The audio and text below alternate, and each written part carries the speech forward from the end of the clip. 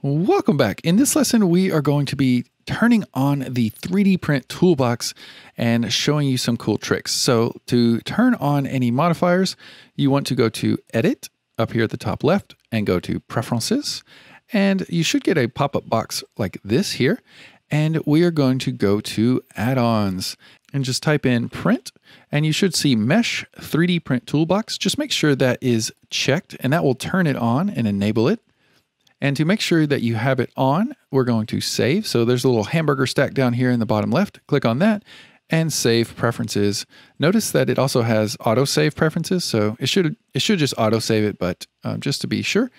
And now we can go ahead and close. And if we hit in on our keyboard while we're hovering over our 3D viewport, we'll bring up our information panel and you should have a 3D print tab now. And so if you click on the 3D print tab, make sure you have your Suzanne or your object selected. And right off the bat, it's going to give you stats about the volume. So you can go ahead and click that. There's your volume, there's your area. And so click those two buttons just to kind of get used to this tool. It's also going to check your object for whether or not it's solid or manifold, which is the word we learned earlier. You know, does it have any holes in it? So this will check and it's saying, oh, it does have some holes. It's got 42 um, holy edges here. So we're going to address that later. It'll also check for intersections. So there's 52 intersecting faces, and we'll talk more about that later. Uh, it'll check for if it's degenerate, if it's distorted, how thick it is, um, if the edge is too sharp, or if there's overhangs and it needs support. And that's our 45 degree rule right here. Um, so that's what all these buttons do. It's just going to you know, click on these and it'll give you results. You can also just check all and it'll give you everything all at once. That's what I do. It's just get in the habit of hitting check all.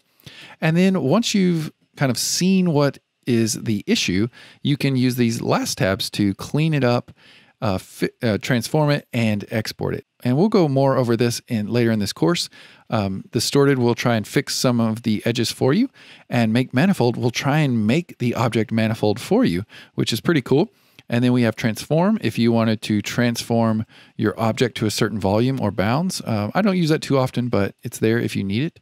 And then you have export. And this is what I want you to get used to using by the end of this beginner course is always exporting your designs through this 3D print toolbox because it makes your workflow so much faster. So here you would tell Blender where you want to save your your 3D printable files and do not check apply scale. Make sure that's unchecked and copy textures is unchecked. And then you've got your format, and this is your STL. So uh, remember, like we were talking about in the earlier videos, STL is the 3D object itself. So that's what we want it to export as. You can also change it to different files like OBJs, which is just an object file. For the most part, we're just going to leave it on STL. And then yeah, we'll export from here. So that is the 3D print toolbox in a nutshell. It is very powerful and very, very helpful. So we're going to talk more and more and more about this uh, throughout this lesson or these courses. So let's go ahead and keep on trucking along and learning about some other add-ons that we can use to make our lives a little bit easier.